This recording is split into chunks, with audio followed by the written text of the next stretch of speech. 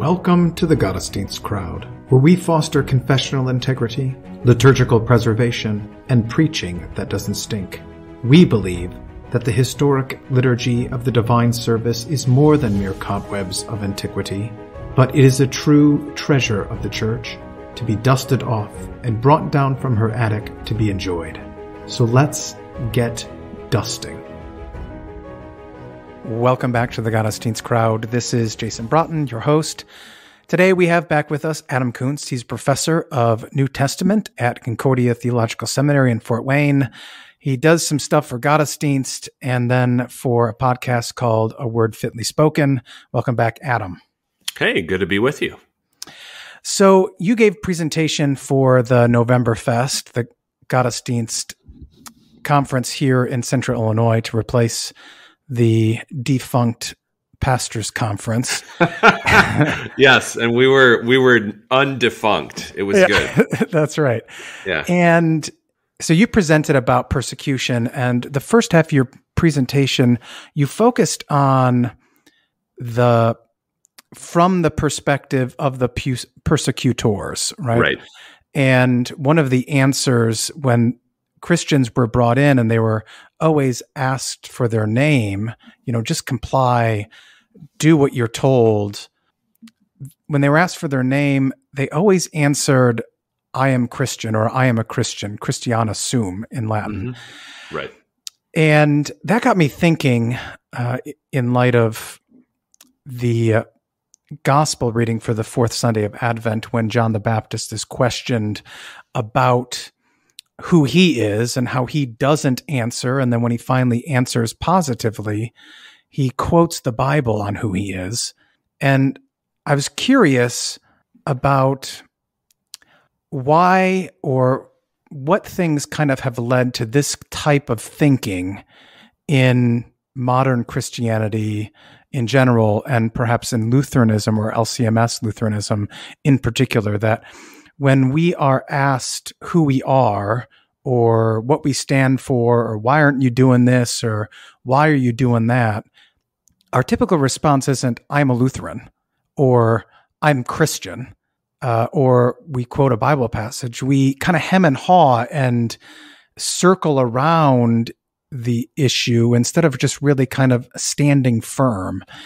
So I wanted to kind of explore that um, I guess that lack of understanding and identity. I know identity is a huge watchword these days, mm-hmm. but uh, what things in, say, the history of Christianity or the history of the LCMS in particular have kind of led us away from fully identifying as Lutheran and Christian and how we interact with the world. Does that make sense?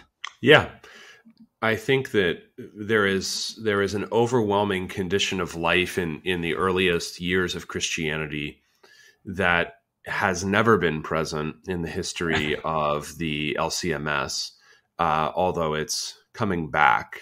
And that is that the line, the primary line in life, is between being a Christian or not being a Christian. Mm-hmm. Now that that line I think is there in the lives of a lot of our people. It is certainly not there in the lo- in the lives of most of our clergy.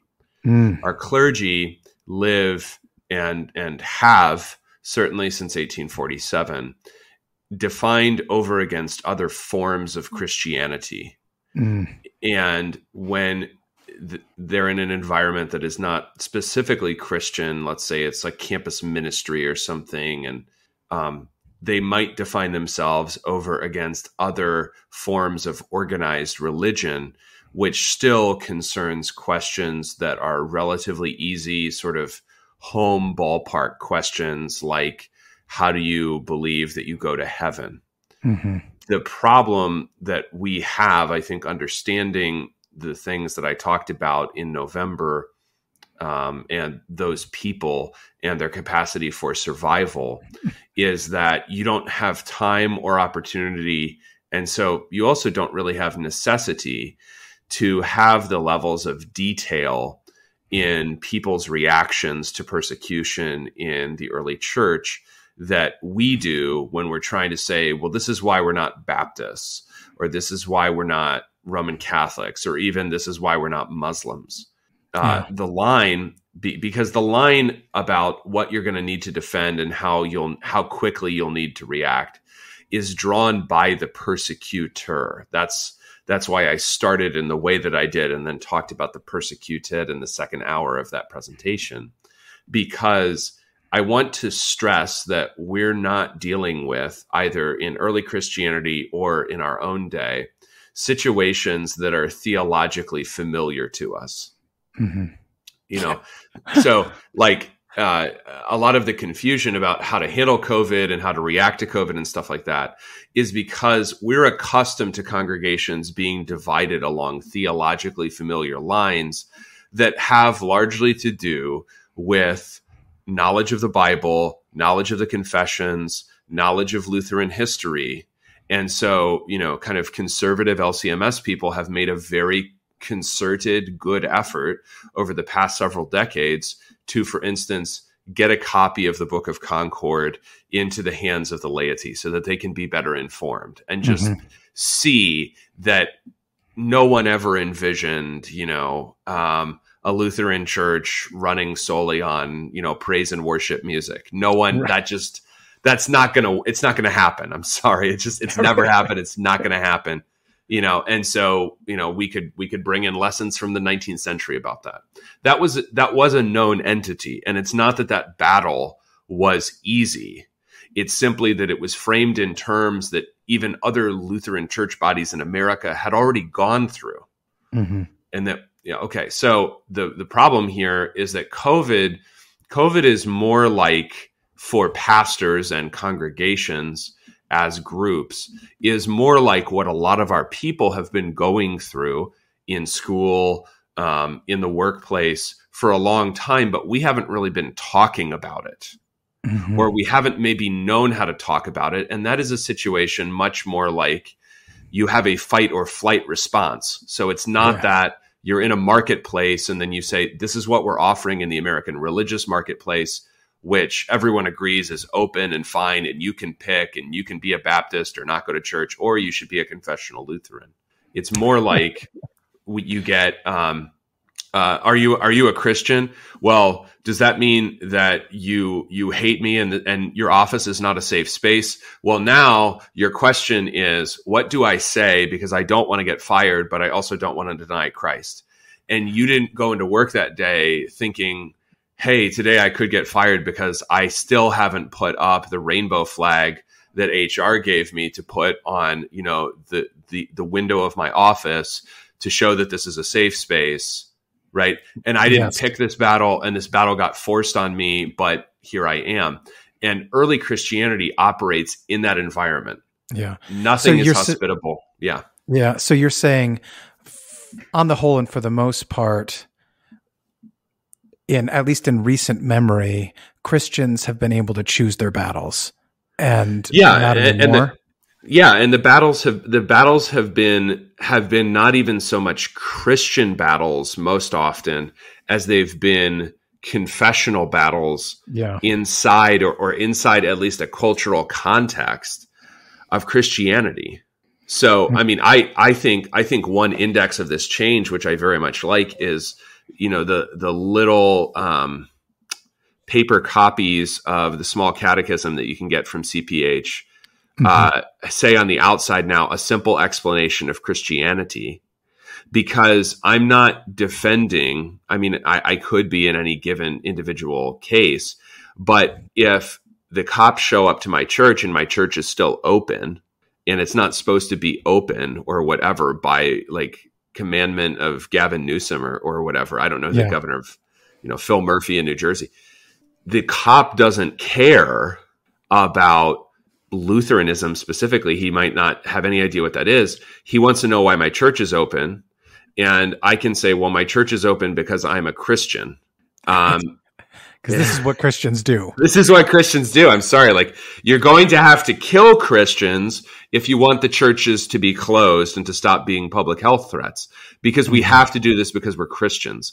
And that's not only you know, reducing confusion by not going into here's this denomination. That's sure there's like a there's just a wisdom about not spelling out every theological difference we have with, say, the ELCA just at that moment. Mm-hmm. Right. With, you know, their church is closed, we're open. It's it's yeah. it's also saying realizing that those occasions that persecution is not an occasion quite like the line between us and the Southern Baptists. And I yeah. I recently reread uh, the the Augsburg Confession and the Apology, and you know the lines that Melanchthon is drawing, he he's not actually saying, you know, he's not actually saying here are our denominational differences with what will come to be called Roman Catholics. Mm-hmm. He's saying that the that if they don't forsake the things that are being done under quote papal slavery, faith will be extinguished. Right right? So I think that persecution is an occasion either for the strengthening or for the extinction of faith. And that's why I'm perfectly comfortable simply saying I'm a Christian. Yeah. So so is there another wrench that has been thrown into this just in terms of how easy it's been for us to operate as Lutherans or Christians in the United States yeah. that we've been um, really able to get along with the world, so to speak, or with the secular world. Yeah. Um, that that uh, that that line between secular and holy is has been kind of dissolving as well. Yeah, and I think that that is very confusing to people because it makes them unable to see certain things that if they if they thought of and I think it's getting easier to see these things because you see how people behave and how irrational they are. I think that a lot of Lutherans thought of and were taught by their pastors to think of everything that wasn't in church as sort of up for grabs and we can we can lament that it changes or something or we can even notice that it changes but we really have nothing to say about that oh yeah and so I think that our articulation of what has become called two kingdoms plays into our capacity to recognize when people that don't go to church are behaving in very religious ways. Yes. This is this is now so much easier because we say, you know, I mean, if someone comes into really any church that I go to, uh, either regularly or traveling or whatever, uh, and they see that I'm not wearing a mask, well, then, okay, um, why do your disciples live with unmasked faces, right? I mean, that's the question because yeah. now we can see that, quote, being secular is really just religiosity of a different kind, and they have their own, they have many and multiplying and mutually contradictory purity laws. Yeah. It it was a lot harder to see that 10 years ago, let alone 40 years ago. So I think 10 years ago or 40 years ago, it just felt like that whole realm was up for grabs, was kind of neutral, and it was obviously the source of the many of the advantages, especially the wealth that American churches enjoyed. And so it seemed like, you know, it, it's something that we needed to negotiate, but something we could live with. Yeah. There's a, yeah. So, so I mean, how much then is does nostalgia for what was continue to play or wreak havoc on how we understand things now? Yeah, nostal- nostalgia has been horrible um, b- because um, it makes even effective thought and action sound kind of like it's it's an exercise in you know being like a civil war reenactor and I think people think that about the liturgy, and they've always thought that about the liturgy. But I think mm-hmm. they also think it about like you're LARPing. Yeah, you're LARPing. Like you, you're you're trying you're trying to go back, and the presumption in all of our heads, whether we like it or not, is that forward movement in time, like the clock moving, means that we're going somehow directionally forward. Therefore, you can't go back to anything. So if it's from the past, there's always something sort of wrong with it. Mm. Okay. And that's, and, and so, you know, if you're doing something that's kind of old, you feel sort of guilty about it in a certain way, or you feel the need to, I mean, just look at some of our bulletins. We're always explaining things. Why do we do that?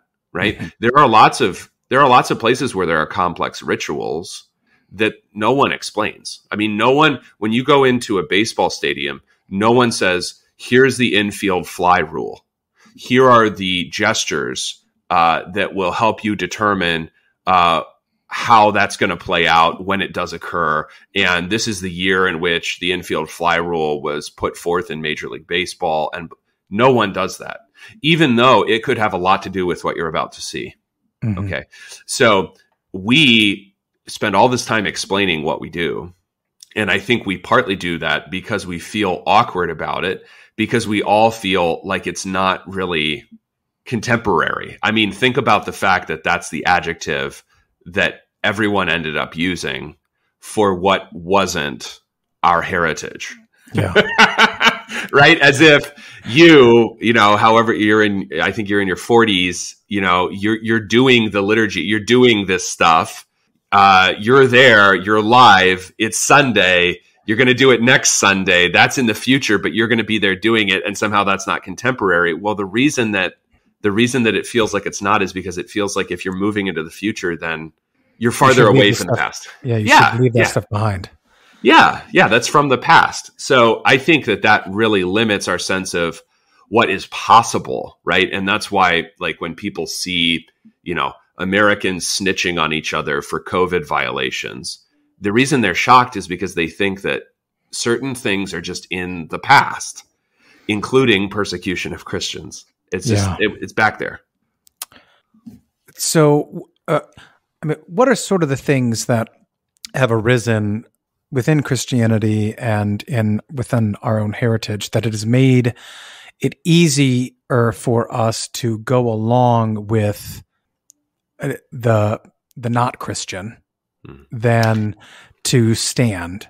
I mean, are in other words, you know, if we are, and maybe you don't agree with Aristotle, but if we are, you know, the habits that we, you know, that we make, and we get in the habit of always going along, what are some of those things that kind of eroded that identity besides the fact that we didn't have necessarily, at least outwardly looking, a government that was trying to extinguish us?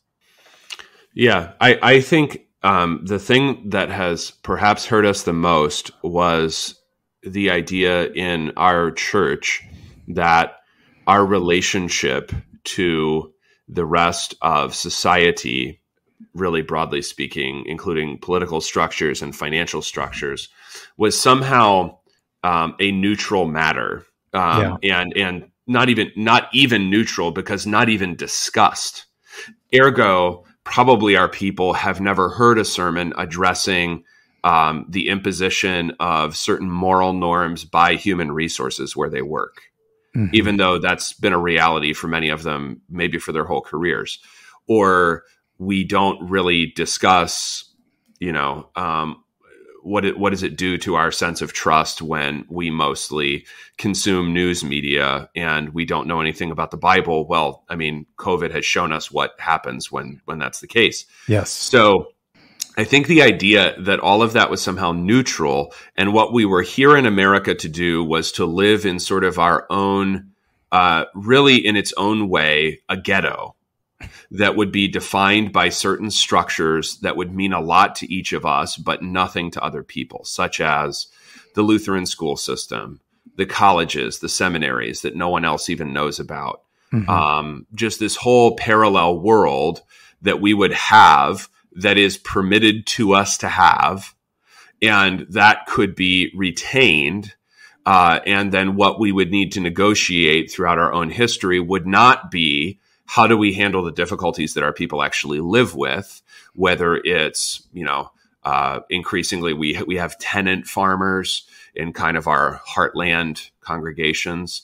Uh, it's harder and harder for them to own everything mm-hmm. that they have. And if they do, they're always in debt necessarily. Yeah. That's not how their great grandfathers farmed. So, how does that matter?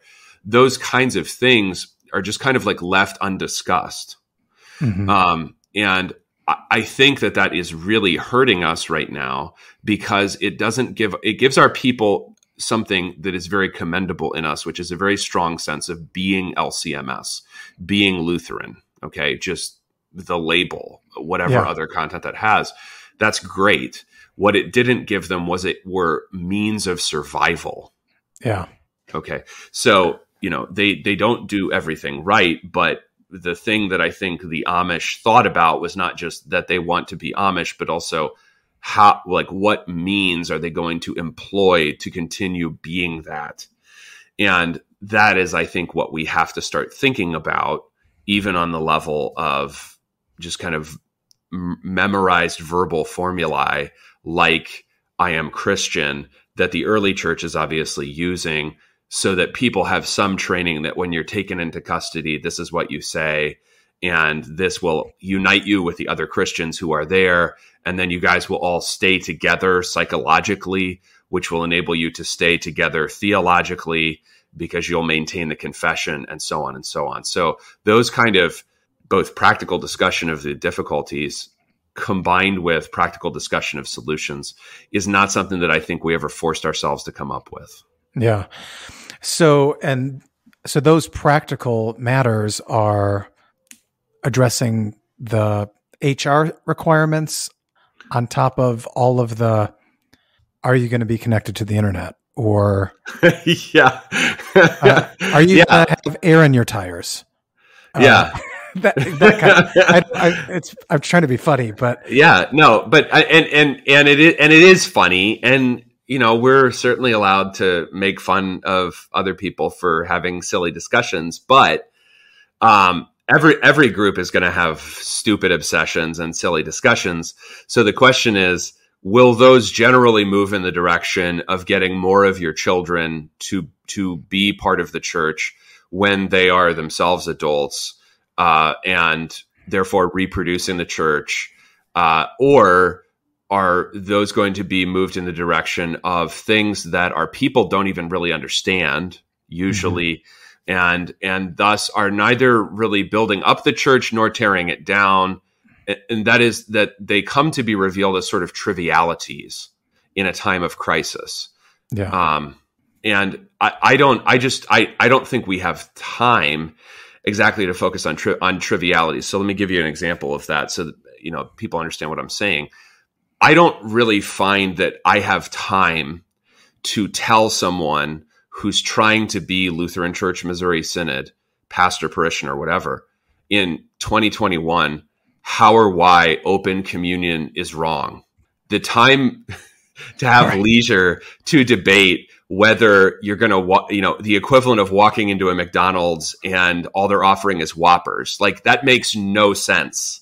Mm-hmm. Okay. Mm-hmm. So if you're an LCMS church and you're doing open communion and you're doing whatever other weird stuff, why are you wasting your time?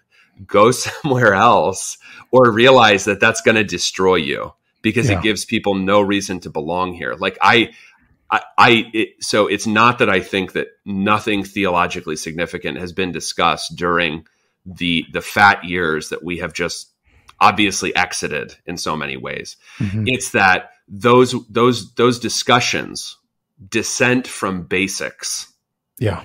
was a luxury. And that that that's going away. Yeah. Okay.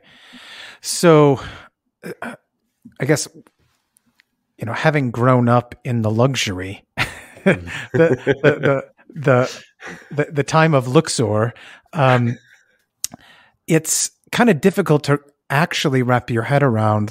So, is this discussion going to be uh, with your elders and you know your parishioners from the pulpit and in Bible class? Yeah. Um, hey, we're Lutherans, so that means that we go to Lutheran schools. Hmm. Um, does that mean uh, I, I guess like brass tacks, yeah, actual implementation, because it's been so long since that was the case. Like, right. I don't think anyone in their living memory may. I mean, I'm. I just had a 98 year old die, and then she uh-huh. taught in public school her whole life. Uh, she's a lovely woman, but yeah. um, you know what does that so what does that look like in terms of is this going to be something like to be a member you're going to have to sign that this is what you're going to do yeah does that make uh, sense uh, yeah no that that that makes plenty of sense i i i think i think that um that that might be a place that we go. Is Yeah. is is just utter clarity, such as such as we once had. Um, honestly, about attending parochial school. Right, right, Okay, but notice that it was just about attending parochial school. right. Um, the rest of it was sort of cultural. So culturally, you can find mention in lots of early Missouri Synod things about uh, the problem of uh, you know people being cheated in business, and this discussion got as far as Walther trying to maintain that the charging of interest was wrong, Mhm. and that was kind of slapped down by the men essentially in his congregation and saying i'm sorry this is just the way the world works. We can't we we cannot function without the charging of interest. That that would be true in germany as well as america. But i like the fact that they had that debate. I think that what this means on brass tacks is, you know, maybe eventually you get as a congregation, or optimally, this would just become part of being LCMS. Is part of being LCMS is your kids just as kind of a rule, unwritten or written, I really don't care. Your kids don't have smartphones. They just Yeah. don't have them because it's going to destroy them or it's at least going to make a lot of problems the kid doesn't need to have they just don't have smartphones or Mhm. we don't have smartphones or whatever it takes i mean the point here is you you have to begin to talk about things that we're not accustomed to talking about yeah. and I, I think Yeah. I think you're on to. I mean, even to the extent of, um, you know, we don't need each other anymore because we all have our private insurance, yeah that's right and I mean, you still have in. You know, I'm in a smaller community, and you still have this sense that you know, if a farmer gets sick, everyone else is going to pitch in and get his crops in. So you Yeah. still have some of that, but that's not Christian. That's just farmers. Um, yeah yeah And so, so it seems as though there are lots of things that were were decisions that were made. Well, let me. Did we fall into the insurance decision and some of these other things, or did we make that decision uh, with the discussion and say, "Yeah, we're going to move that direction," and then do it? I think on on practical things such as such as insurance, um, such as banking, um, such as birth control, the thing that you find almost unanimously is that there's a diversity of opinion within the church at some point. Yeah, Um, because not even the St. Louis faculty in the 19th century could just rule on everything. So there's some diversity of opinion. It may or may not actually get debated. Uh, and then eventually it gets resolved from the church's perspective in silence. And I think that's why these things are, cor- that's why they're corrosive. They're not Yeah. even corrosive because I can sit here and tell you right now the charging of interest is always wrong and we never should have done it and it's going to destroy everything and it did and blah, blah, blah, blah. I, I am not speaking from on high in that matter in any Mhm. regard. I'm saying that the thing that is corrosive is that we never talked about it really much. And that and now we don't talk about it at all even though for example the fact that our young people can't really form families that can be stable long term and invest in a parish has something to do with our financial system which they are expected to participate in totally individually yeah, rather than with the backing of the church, which has made it possible for us to have pastors in lots of places because we've maintained legal rights and informally financial assistance to pastors to make sure that we can still house them. Why Yeah. shouldn't we do that for everybody? yeah, So that's an example where if we were talking about this, that would be something that we might be able to come up with, even just a single congregation. Since we're not talking about it, everyone except pastors just has to fend for himself in our financial system and our housing market. And, you know, that's just the way the world works, I guess. yeah. I mean, I think that's a common retort when some of these things are even brought up Yeah. a, a, as a dismissive. To say yeah, I know. I know. we're going to remain. We're we're not going to rule on this, and then that's a ruling. So That's right. Yeah. Yeah, yeah, and and and that is that is such a and I don't I don't know where this comes from. It definitely doesn't exist in early Christianity. They they are they are not fatalistic as we are, where things just seem to sort of happen to us and it becomes a collective problem. The vaccine mandates and potential mandates and whatever is a good, very recent example of this. It kind of happens to a bunch of us. Then the best that we're able to do collectively is to say, you know, optimally, like, it's okay regardless of what you do. We're not going to kick you out of the LCMS if you're unvaccinated or something. I mean, mm-hmm. I guess like right now, because hey, like not enough governors have said that you need to be. I don't, I don't know what it's going to take, right? So the problem is we, are kind of agreeing not to really discuss that.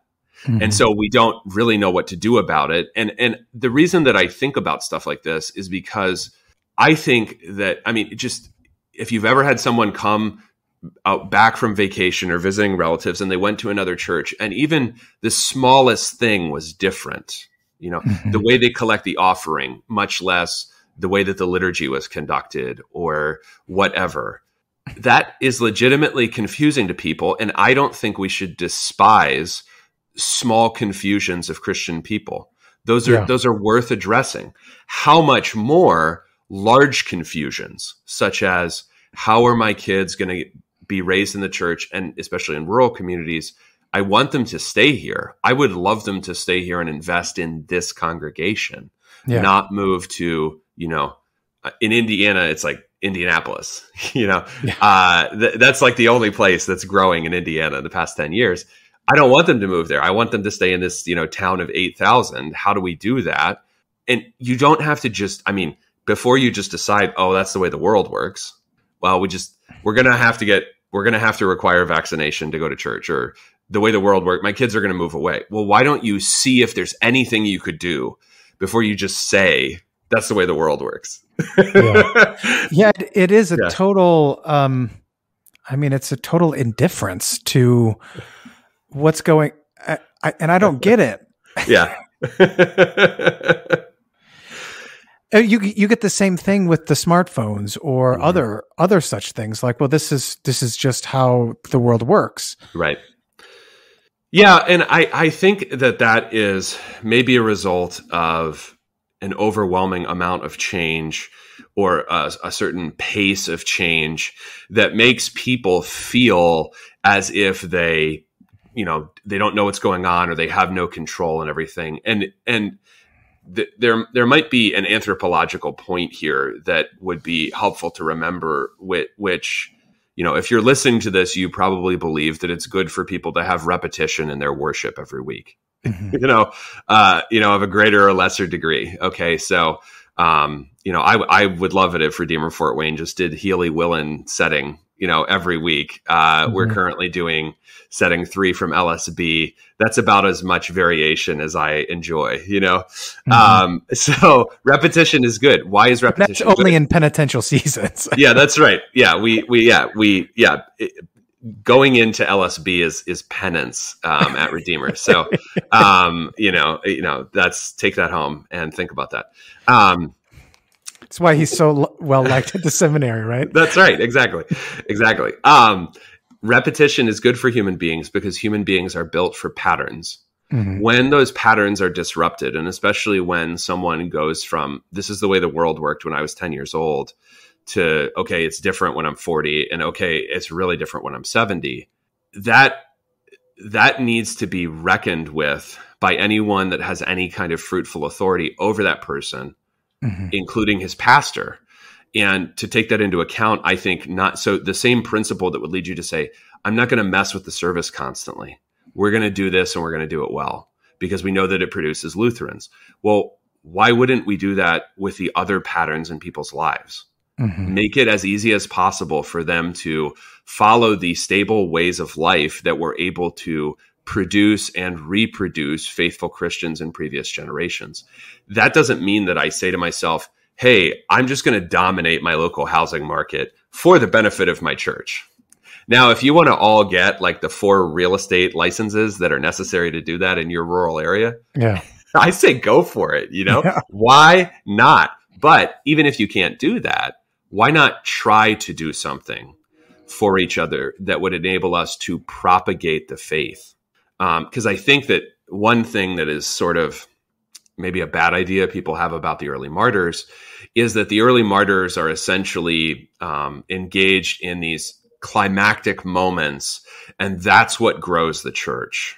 Mm-hmm. There are other things in the martyr accounts to recognize about the nature of of these churches that are under these kinds of intense stress. And the thing that comes up even more often than uh, you know that one one person or many people die in a given account is the amount of solidarity exercised by the living and the survivors with not only the bodies of those who have given their lives for the sake of Christ, but also with those who survive. So people that are tortured and then released, or people that you know they attempt to kill or interrogate but are then released, the confessors. Mm-hmm all of those people are venerated because it builds up the body to go through the stress and then to come through it on the other side. Yeah. So we don't have to say today, you know, uh, you know, Pastor Broughton is going to face death in three years' time because he lives in Illinois. We don't we don't have to prophesy that, right? Right. Um, we we don't have to. Um, what we can say is that it's obviously good for any any part of the body of Christ to go through things together and therefore to think and to plan together rather than just letting anything that could happen happen to you and then you figure out how to pick up the pieces. Yeah. Yeah, I I remember when we were opening back up against the orders and um you know, my elders said, "Well, we'll make sure we have cash to get you out of jail, pastor." Right. Yeah, right. I mean, that's you. You love to hear that. You yeah. love to hear that. That spirit, you know, like we're going to do this because we believe in Jesus Christ. I mean, that is wonderful. You know. Yeah. Yeah. The, uh, the, there were definitely. I mean, I spoke to way too many lawyers during that th- those early days. Yeah. Than than I care to, but um, that was probably one of the most encouraging times of my ministry in terms of th- the desire of the people to say, we just need to get back in church. Yeah. And, you know, to hell with what anyone else is saying. right. Basically, I mean, right. those terms. Right. But, uh, uh, and that was super encouraging. Um, right. Because it's very easy when, you know, when you see the same people every week, but then you see the people that leave to think that everyone's on the cusp of that, right? Right. Right. And I, I think that those situations of risk are are always fruitful when used properly, right? So mm-hmm. I think that this is this is something probably to stress now more than ever is that being alive entails risk.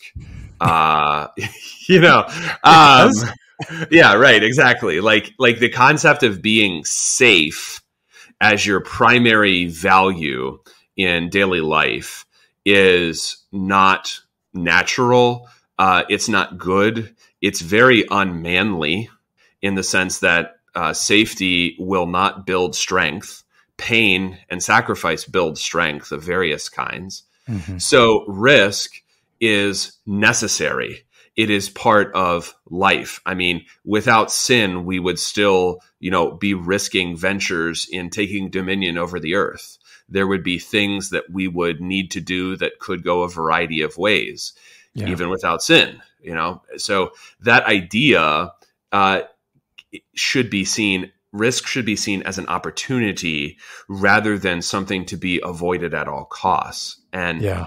Uh, I think this is something, I mean, you know, lawyers can be extremely helpful people. I think the idea of being completely insulated from risk, financially, legally, etc., always means that you're playing inside the rules that have been set up by people who don't believe in the Word of God. Yeah. And a Christian simply can't live within those risk parameters. Yeah.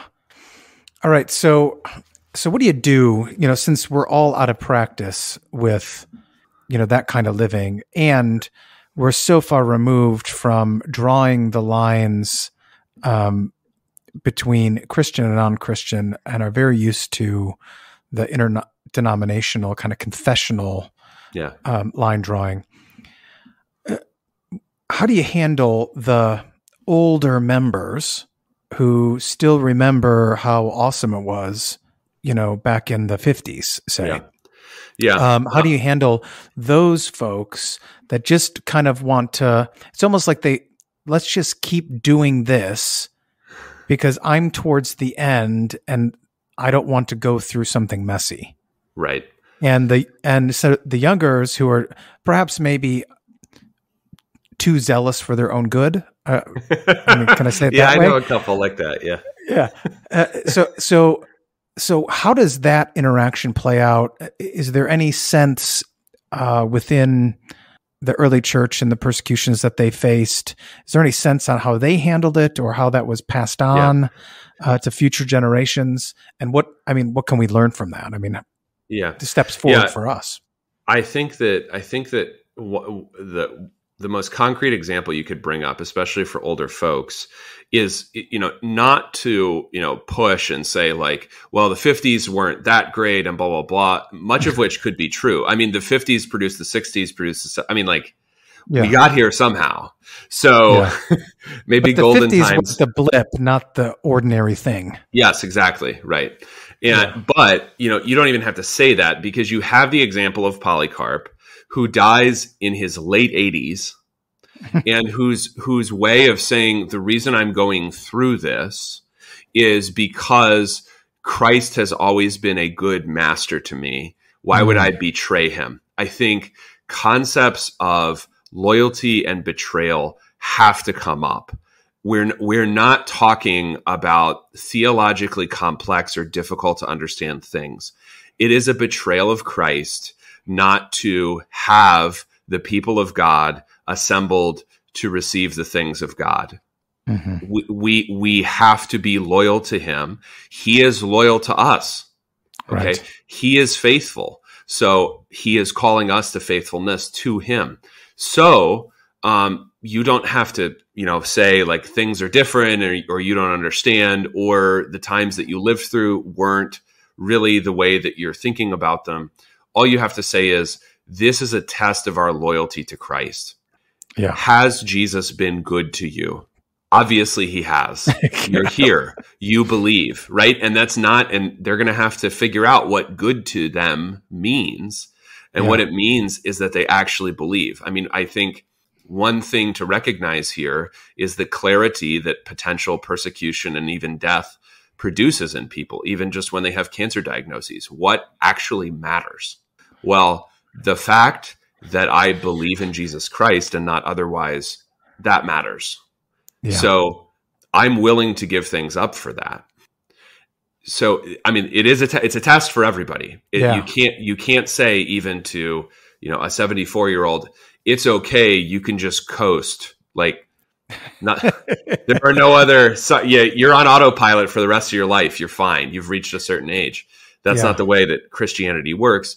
To the younger, I think it's the same thing, but I think rather than letting uh, it, because a thing I see, especially in men younger than myself, is an enormous amount of anger yeah. because they, they realize what what how they have been lied to, what has been done. I mean, we've all been born since Mhm. it was okay for our mothers to kill us. I mean, it's it is kind of a hell world in a Yeah. in a way that seventy year olds, yeah, Yeah. didn't it's, have to go through. It's I mean it's the difference between you know red pilled and black pilled, right? Is is Right. that, that terminology? Yeah, but I Uh, think, yeah, and but I mean, I think I think being depressed or even being enraged constantly, it, it's not that I don't understand that. It's that I don't think it's productive Yeah. for good decision making. Okay, Right. Yeah. okay, that that's that's the point. Is that hatred of evil is good. That's a good thing, and the guys are right to have it they're right to try to avoid evil in ways that their elders often don't even foresee they need to. Mhm. Nonetheless, for the sake of the kind of decision making about the how, the local housing market and how we're going to, you know, avoid difficulties with the law and so hatred and rage and and everything that kind of sweeps you away in the moment it's simply not productive. So i at least have to bracket it. Yeah. Right? In mm-hmm. order to make okay hey let's all get real estate licenses or whatever it is that we decided we're going to do. In order to plan well i need a certain amount of calm. And that is also a test of my loyalty to christ because christ maybe doesn't want a bunch of soldiers who are simply trigger happy right? Maybe he wants some people who are able to plan better for the future and make complex battle plans and then carry them out with relative calm. Maybe that's going to be necessary too. Mm-hmm. Yeah. So to the uh, so to the pastor, I, I think it, this is going to have to, since the laity are already enduring it, and many of us clergy members are kind of quarantined from it, right? We don't we don't live in their world. Yeah, right. Uh, um, and it's easy for us to say certain things. Um, what should we be preaching about to help um, kind of form the consciences of of those who are actually dealing with it on a daily basis? Right. I mean, I think you have to know and then discuss in your preaching and your teaching, your newsletters, the things that are occurring in their lives. So this is where, okay, um, it, it could be the case that something that you can see the Missouri Synod decided at a certain point to respond to um, a lot constantly was millennialism. Um, mm-hmm. And that that that is um, that's a big deal for certain segments. It's obviously a bigger deal if you serve in the South than yeah. if you serve in New Hampshire. Um, and we decided to have a concerted response to that, such that LCMS pastors are, in my experience, your mileage may vary, pretty reliable on you know not saying yeah not saying incredibly insane things about the end times yeah. generally speaking okay just hedging all my bets right there yeah. um and on and the that, whole and for the most part. Yeah on the whole and for the most part we're mostly doing a pretty good job i think for 55% of us. Um yeah, yeah right. But you know that that's definitely something where that wasn't an enormous issue at one point um, especially in german as much. It became really big with the advent of televangelism and we chose to respond to that. You can see it in kind of your pre-prepared bible studies it's there. We have some response to that. I think that there are a lot of things that are going to vary widely uh, by your members' occupation, um, by their investment in the public school system, by a lot of factors. But you know, you want to keep those in mind. You want to know what those are. There are a lot of things that we just haven't been talking about. I think that challenges to conscience, not just not just media consumption habits, their phone, everything that needs to be discussed. But also, um, you know, this challenge in your job, this, you know, and and it's it's not. We're not even just talking about soccer on Sunday mornings. We're saying like, is it okay if your kid goes to school so that he can play high school basketball, but in almost all of his classes now, by virtue of state curriculum, your child is taught that he is metaphysically evil for a reason having to do with his race and not with the fact that he's a sinner. So he's basically being taught a whole different doctrine of sin and redemption right. than you're teaching him in church, like pretty explicitly at this point. Yes. So, you know, these are things that you have to discuss. I understand that makes people uncomfortable. The thing is, I don't think that our sermons were designed to make people uncomfortable because we accuse them of sins that they don't commit or don't have to deal with. Yeah. Which is often how the preaching of the law sounds in our sermons. It's like, yeah.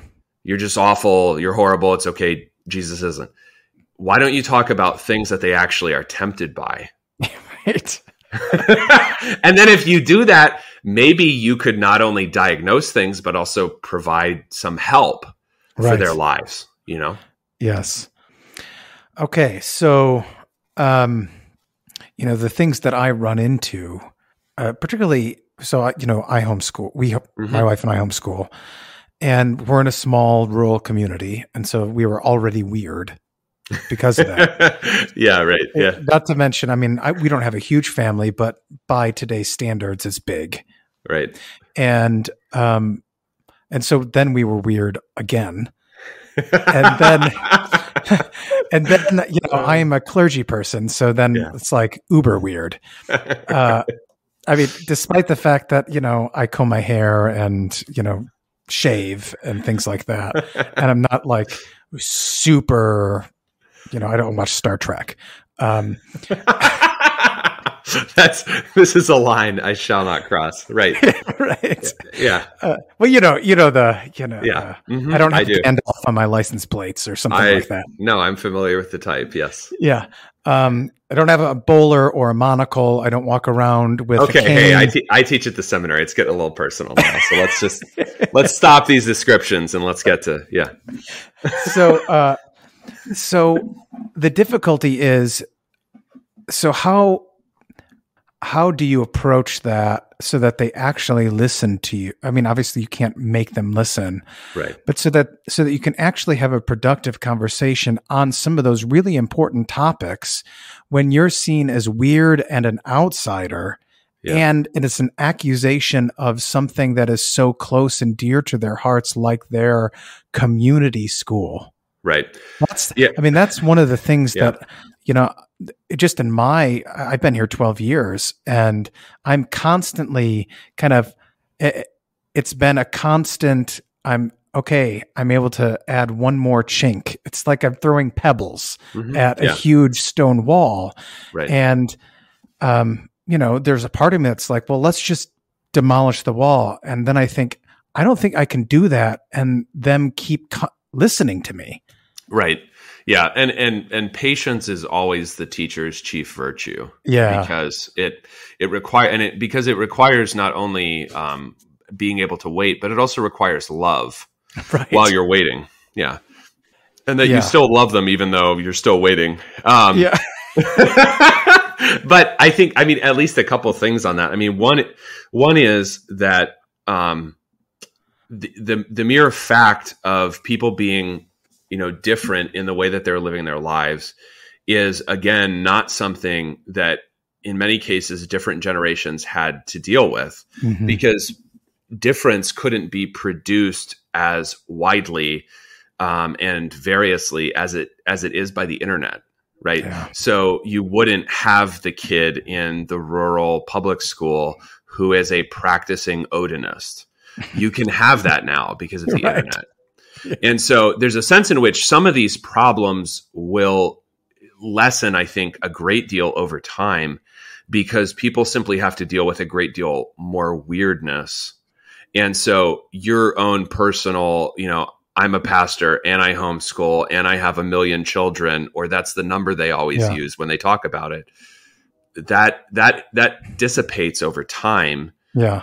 I think all, but I think also from from your own perspective, this is for me part of the adventure of being a pastor mm-hmm. is that I get to try to become a Jew to the Jews and a Greek to the Greeks. Yeah. That I'm not I'm not waiting for them to be like, you're right, pastor.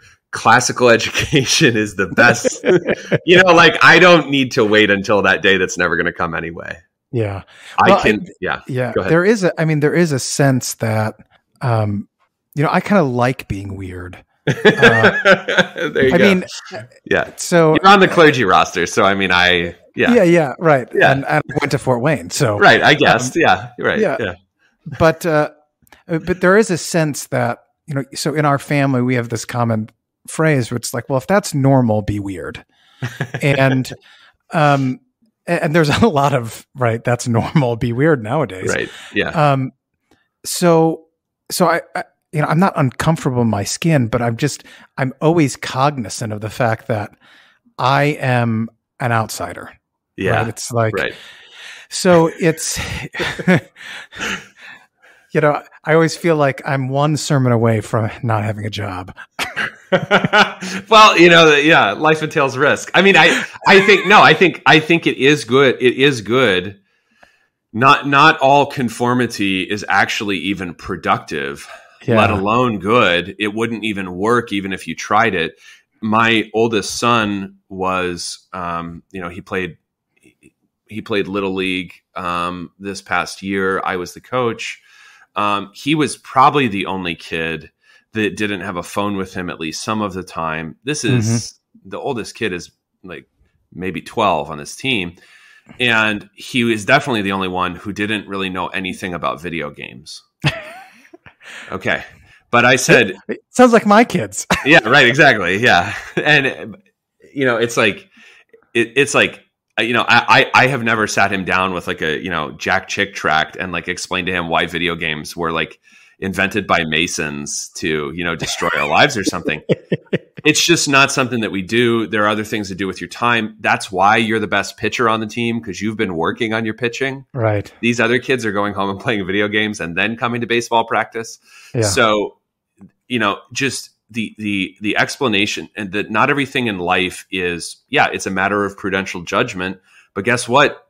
We're trying to make better decisions than a lot of people and that's okay. Yeah and that can be seen over time. I mean, I think these collective decision making processes, where and when these are actually already occurring in our congregations, it's opening up space for people to then also consider okay, is this actually what I want to do in my own individual life? Yeah. It's not talking about any of this stuff ever at all, especially from the pulpit, that makes us unable to discuss not only what would be to our collective benefit, but even what would be to our individual benefit. Yeah. Yeah. All right. So, um, I don't know. I think I don't have anything further. Do you have any final thoughts about the whole range of topics? I I love that we're having this discussion because this is a discussion that I I wanted Lutherans to have when I came from the Episcopal Church, which is the line between belief and unbelief, uh, many moons ago now.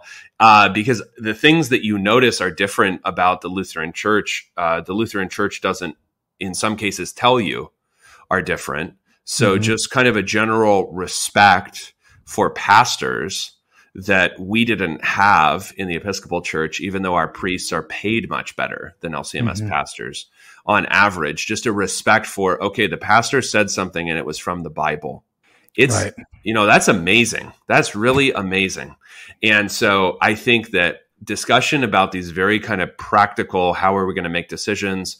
How are we going to get people to form families and to mm-hmm. live here and to invest? These are the dis- discussions we needed to be having a long yeah. time ago. So I'm really grateful not only for today, but for I'm I'm very hopeful that people are thinking about these things. Yeah. And that increasingly they will because this is how we survive. Yeah, it's very easy, I think, to uh, particularly in perhaps LCMS clergy to be very negative instead right. of just really kind of happy warriors. Right. Like, just understanding that this is what your this is actually what your task is and go about it with a certain amount of flair and joy. Yeah, right. Well, I mean, why wouldn't you? I mean, you get you're alive right now. God has decided to put you here. This is the best place for you to be. So go for it. Yeah, exactly. Well, good. Well, thanks for your time, Adam. And yeah, uh, my pleasure. And uh, if we have something else that pops into my head because I'm talking to Peterson, then uh, I'll be sure to reach out. Okay, that sounds great. Right. Take care. Bye.